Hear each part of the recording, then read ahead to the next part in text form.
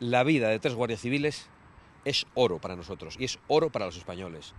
Y por lo tanto, no, podemos decir otra cosa, que tenían todo el derecho a defenderse. Probablemente no tenían la seguridad de que eso no tuviera consecuencias para ellos. Probablemente estaban viendo venir la muerte.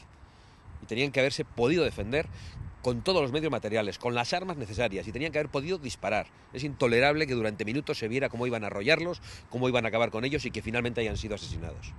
Las palabras del ministro Marlasca de que estaba siendo un éxito la lucha contra el narcotráfico en la zona, ¿qué tenemos que decir?